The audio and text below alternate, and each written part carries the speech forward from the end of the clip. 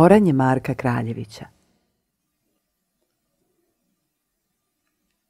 Vino pije Kraljeviću Marko sa staricom Jevrosimom majkom.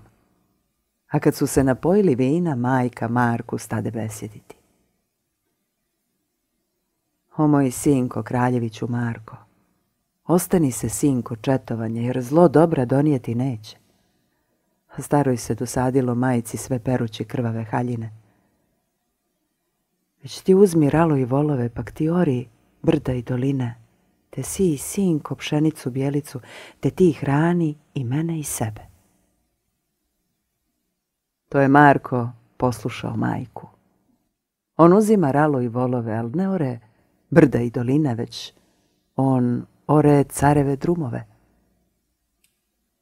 Otud idu Turci janjičari. Oni nose tri tovara blaga, pa govore kraljeviću Marku. More Marko ne ori drumova. More Turci ne gaste oranja. More Marko ne ori drumova. More Turci ne gaste oranja. A kada se Marku dosadilo, diže Marko ralu i volove, te on pobi Turke janjičare, pak uzima tri tovara blaga.